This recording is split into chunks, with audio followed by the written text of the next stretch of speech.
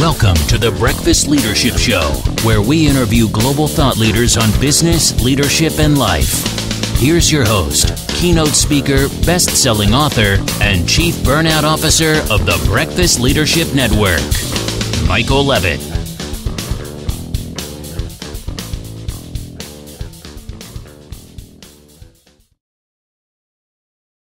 Welcome back. I've got Anthony Hughes on the line. Anthony, how are you? I'm very well. Thanks, Michael. Great to be here. I'm thrilled to have you here. You've done some amazing work and a, a global, you know, kind of work and worked with some really, really important endeavors. So why don't you share a little bit about you with the audience and then we'll dive into the conversation. Uh, yeah. So um, again, thanks for thanks for having me today, Michael. So my name is Anthony Hughes. I am CEO and co-founder of Tech Elevator. And we are a rapid reskilling program that helps individuals with high cognitive ability learn the skills to uh, compete and, um, and, and be employed in the technology field. Uh, we work with both individuals who are trying to improve their careers and lives through tech education, as well as companies who are trying to uh, invest in in their employee base uh, to, uh, to to shore up their workforce for to be more globally competitive in the in the digital age that's absolutely critical work uh, that needs to be done. So thank you for creating a company. That's not an easy thing to do to launch your own company, but for doing that because so many organizations and individuals need to bring up their skills to the demands of what we have now and what we will have over the next 10 to 20 years with technology, smartphones, automated devices, all these things. There's technology behind those things, so we need people to develop you know, all the new bells and whistles that uh, that we want as society. Uh, and organizations are, are, are smart to invest in their people and, and be able to bring these uh, skills to light. Oh, absolutely. I couldn't be more true. Um, yeah, go ahead. I was going to say, so over the last couple of years, uh, we've been dealing with uh, a, a, tiny little global pandemic. And you know, what were some of the you know, discoveries that you found uh, with with people and training and, and, technology and all that over the last couple of years that uh, uh, you really were able to address uh, with the work that you do?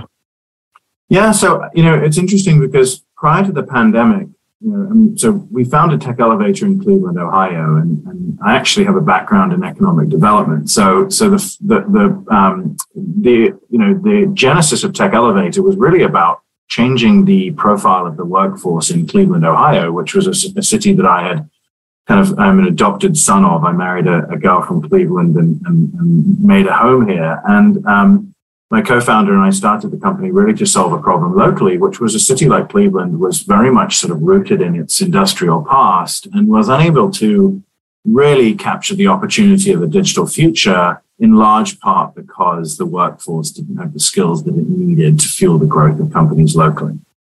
Um, you know, as we grew the company, we opened up in Columbus and Pittsburgh and, and Cincinnati and, and, a number of sort of Midwest and, and, and, East Coast sort of markets that were communities trying to reinvent themselves. And we were very committed to in-person education.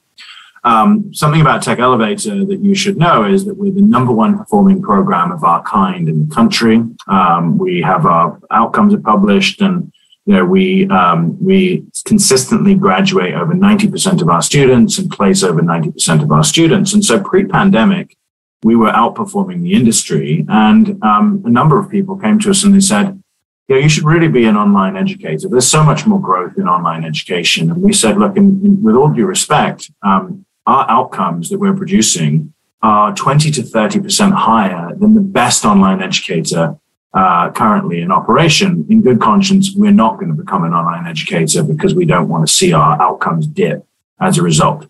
Well, the pandemic didn't give us any choice. We had to become an online educator and we had a, an obligation and a duty to our students to see them be successful and help them get placed. Well, you know, at a time when 20 million people got laid off in April of 2020, um, Tech Elevator posted a 90% plus job placement rate that month. And um, as we started to sort of survey the landscape, we realized that we'd made an error. We had literally been comparing apples to oranges um, when it came to our decision to go online. And when we were forced online and continued to produce the best outcomes in the industry, we said, well, hang on a second. Here's a path to impact more people more quickly and provide more scalability. So, um, you know, if I had a do over, we wouldn't have had the pandemic. It's been jarring in many ways, but the silver lining uh, is that we've developed capabilities that give us faster paths to growth and opportunities to amplify our impact more broadly, not just domestically, but with some of the work that we do internationally as well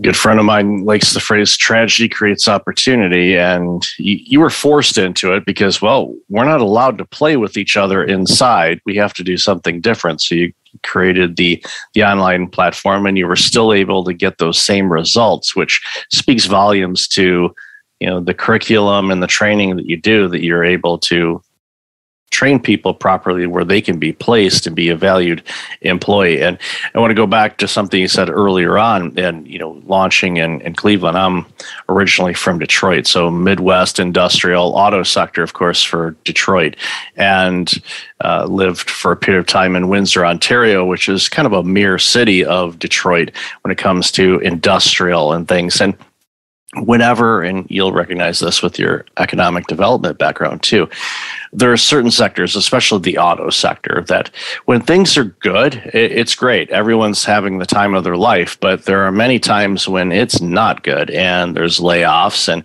cutbacks and plant closing and all that. And you see towns really struggle and, and suffer. And you know some situations you know in the case of you know certain parts of michigan where the auto sector just up and left a town and, and basically left the town to die. And those are communities that because they were all trained on working in factories and industrial type work they weren't given the opportunity to learn some additional skills that were marketable and demand did today. And the fact that you're doing that, and you know, you said Cleveland and Pittsburgh and Cincinnati and those those those cities that for the longest time were industrial based. I'm thrilled that those cities are making the shift away from the industrial age and going towards the information age and digital and AI and all the other things that we need as a society because we've moved on from those things. Even, you know, I, I, think about, you know, Teslas real quick, you know, the number of parts that are in a Tesla compared to the number of parts that are in a Chevrolet automobile. It's dramatically less. So, what does that mean? That means there's less companies making parts, which means there's less jobs making parts for those types of vehicles, which means people that have been working in those types of fields really need to look at other opportunities. And again, that's why I'm so thrilled that your organization exists because it gives people an opportunity to do something for jobs that are going to be in demand for the foreseeable future. Yeah, yeah. I mean, it's it, it's incredibly rewarding work that we get to do. I mean, we we really do act as an inflection point in people's lives. Uh, the average student who comes to Tech Elevator is about 31 years old. They've had years of career experience already. Um, they're oftentimes transitioning from one industry to another. And, you know, the sort of commonality between the students who come to us is that they know they're smart. They just have this inherent sense like, I should be doing more rewarding, more challenging, uh, work. There should be more opportunity, and I'm just really struggling to find it. And um, you know, they get sort of bitten by the technology bug. Maybe they know somebody that's in the field. Maybe they started to sort of dabble online with some coding challenges, and and they come to us, and, and, and we really help accelerate that path. We do it in a 14 week program, or we do it in a 30 week program part time but we're able to elevate somebody's earning potential on average by $24,000 uh, in as little as 14 weeks. And the really exciting thing, because we keep in close contact with our alumni, is they're seeing on average 10% salary increases year after year.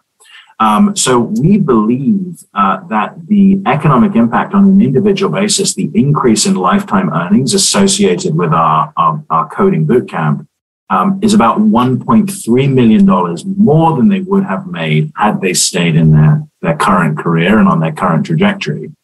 And I just want to put this into context because the Lumina Foundation, which studies higher education, says that the value of a college degree, a four year college degree, is $500,000 more than a high school diploma. So we're able to achieve in as little as 14 weeks, $1.3 million in salary lift. And many of those people already had college degrees. As many as 50 to 60% of our participants come to us for, with, with college degrees already. So it's incredibly gratifying to, to be giving somebody an option in as little as 14 weeks to be able to plug back in, reskill, and get into a field that is so in demand and so highly meritocratic that they are welcomed and rewarded for that love of learning and that that you know the, the, the, their willingness and uh, courage to invest in themselves. Yeah, 14 weeks to see those types of increases uh, is almost unheard of, but you've proven it time and time again because, again, it boils down to a supply and demand type of situation. There's a big demand for people with these skills, and the supply isn't where it needs to be. So that's why you come into it. And one thing that you know, came to mind when we were talking a couple minutes ago that I want to dive in a little bit more before we wrap up is your economic development background, that plays a huge part in the success of what you're doing, in my opinion and observation, is because you have an observation of, okay, well, the work you're doing with Cleveland and, and Cincinnati and all that, it's the, the intent is to develop an economic region with training that can bring in the workforce that will improve that region. Many entrepreneurs, you know, they're thinking, I have a product or service that does really well and it's going to do this and I'm going to get this type of ROI and all that. But your economic dev background has to play a huge part in the component of why your, your team's so successful. Yeah, I mean, you know, we are a very mission driven company. The mission of Tech Elevator is to elevate people, companies, and communities. So, you know, fundamentally, we believe and have proven that cognitive ability lies evenly in the general population. We believe about 30% of the general population have the cognitive ability to code. So when we can find those individuals, given the skills that align with demand in the workforce, those individuals can help companies grow locally. In other words, not outsource their work outside of the region, outside of the country, but grow locally, contribute to the economic vibrancy of the community. And, you know, that, that rising tide, if you will, can float all boats. And so, you know, um, the, the opportunity and what we're proving is that we are able to, in many ways, act as sort of a, um, uh, you know, a, a, a, catalyst for a community to activate its own potential, starting with the individuals in that community. And when you look at Cleveland, where we started the company, we have over 700 individuals who were who were non-technical, who are now working in the tech ecosystem. Uh, and you know, in aggregate, those individuals represent nearly a billion dollars in increased lifetime uh, earnings, and that gets felt in the city. And so, what's so exciting about this is, you know, we think a lot as a nation about our global competitiveness. How do we make sure that we stay ahead of India and China? Well, both of those countries produce more computer science degrees than we do. Uh, in fact, Poland produces more computer science degrees than we do. But higher education is still fundamentally a privileged path. We're proving through our methodologies that we can create new paths that don't require privilege, that can be done shorter and more efficiently and effectively, that can change an individual's life, change the talent landscape for companies, um, add more vibrancy to the communities that we're in. But in aggregate, it gives us an opportunity to really rethink how we compete on a global level. And it's a future that includes everybody. Um, and, you know, one of the things we're so excited about is the way in which we've been able to increase diversity in the technology industry through our scholarship programs, through greater participation of historically underrepresented groups in tech. And look, you know, when when we're building the products of the future, they need to be built by all of us with the creativity of all of us um, coming together. And you know, we're able to attract incredible people to Tech Elevator's mission uh, on our team uh, to enable us to sort of really have that impact uh, in the communities that we're in. Well, it's amazing. I'm, I'm thrilled that you, you touched on the diversity piece of it because, yeah, the global market has amazing talent that has been untapped through a variety of reasons. One, you know, the the economic inability of many to be able to get a college education that so many of us uh, were fortunate enough to be able to to do with or without student loans. Some of us might still be paying those student loans, and I, I, I, feel your pain on that one. It took a while to get mine paid off when I got my degree, and I know I used to work in healthcare that. And I know physicians might be paying their student loans until they retire, but you know that's that's kind of the name of the game. But the fact of creating access to people that would in the past not have had access to it changes the landscape of their world, their community, and ultimately improves our, our planet because again it taps into the resources and the skill sets of people that have unfortunately haven't been utilized uh, to the best that we could do.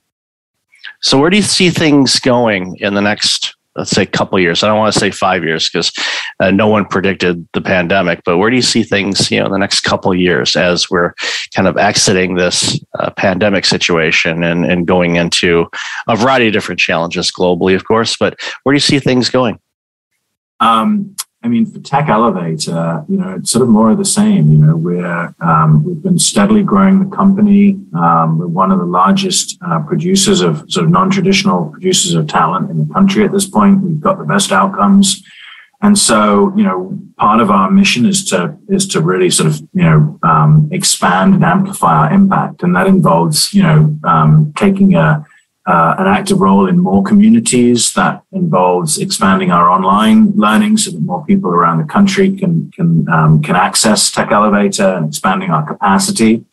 Um, significantly expanding our hiring network. We have 700 companies that we work with, but we believe there's room for you know 1,500 uh, companies, and, and we'd like to see more of our graduates working at more companies. In the last year, Google, um, eBay, uh, PayPal, Visa, MasterCard have all added to our hiring network, and we're always interested in, in, in, finding great talent from more companies.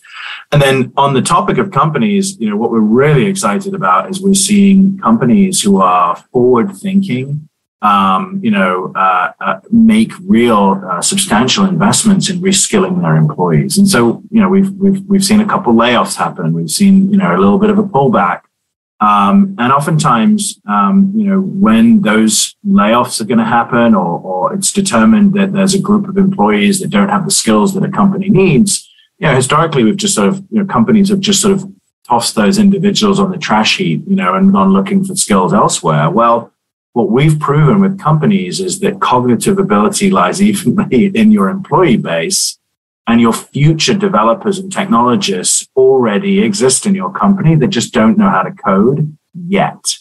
But they have institutional knowledge, they have cultural alignment, they have awareness of, of the challenges that your businesses face. Who better to build the products that solve the problems that your businesses face than the individuals who've experienced them firsthand in other parts of your business? And so we're so excited about the relationships we have with companies like Kohl's and JP Morgan Chase and Key Bank, who are really leading the way and proving that you can do good and do well at the same time. You can source phenomenal talent and make real investments that give you a competitive advantage. And it's been it's been a true pleasure working with companies that that lead in that way. That's awesome. Exciting times ahead for you and your organization. So, Anthony, I love this conversation. Where can people find out more about you and this amazing work you're doing? Great. So uh, it's easy to find out. Uh, we are Tech Elevator. And so you'll find us at www.techelevator.com. Uh, it, it, spells like it sounds. Um, we have a free aptitude test that people can take if they want to see if they've got the cognitive ability to code. Uh, and uh, yeah, just really appreciate uh, folks' interest in the business and appreciate the opportunity to be here today, Michael. Well, I'll definitely have all that information in the show notes. So again, thank you so much for your time and congratulations on this really, really, really critical work that you're doing. So thank you again for being on the show. Thank you. Thanks for listening to the Breakfast Leadership Show, part of the Breakfast Leadership Network. Visit breakfastleadership.com for tips on empowering your business and your life.